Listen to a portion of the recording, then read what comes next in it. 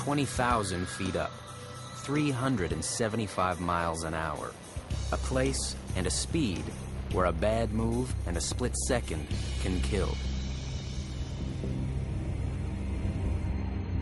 How close does it get? A hundred feet? Fifty? Today's mission, fly within 15 feet of another jet. All right, so like you said, man, here's where you earn your money, right? Yep.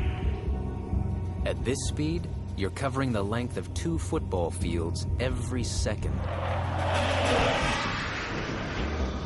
How do you fly this close at that speed? Simple geometry. Seamus needs to work the angles.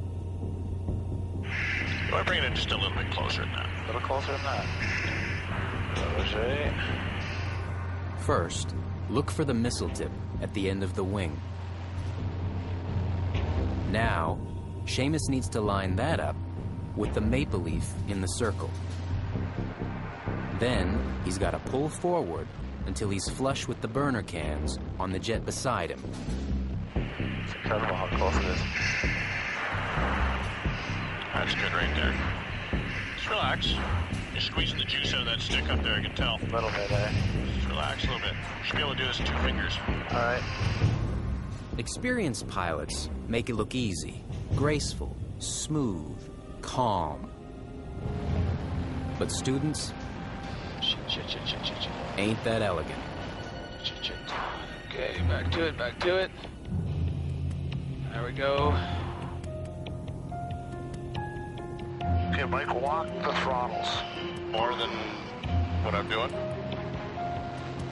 Mike has to make endless tiny adjustments with his hands and feet. Why don't we just go forward up now? And then there's the backseat driver. He's roaring away at full mil because he doesn't have 200 pounds of God's gift to Earth in the backseat. if you call me self-loading baggage, I will reach out there and crown you one. I'd never say that about you, Spanky. Flying off the wing is tough enough. Now, try this. A close formation called line astern. To get there, you fly into the back end of an F-18 till you feel the other jet's blast. Once your butt starts shaking, you're in the right place. And if you think that jet looks intimidating from here, wait till he does this. Rolling in. The flat turn. Look at how big that airplane is. See how big it is? Yep. That's flat turn right there, man. Ah, Freaking huge.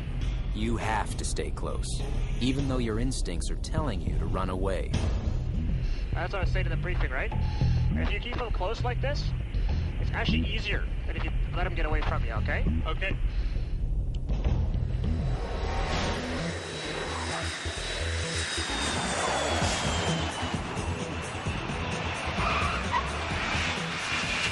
It's high stress flying. But when you nail it, you own it. And despite his color commentary, Spanky is impressed. Hey, you see any parts missing off the airplane? That's a uh, good It's thing. good to go, yeah.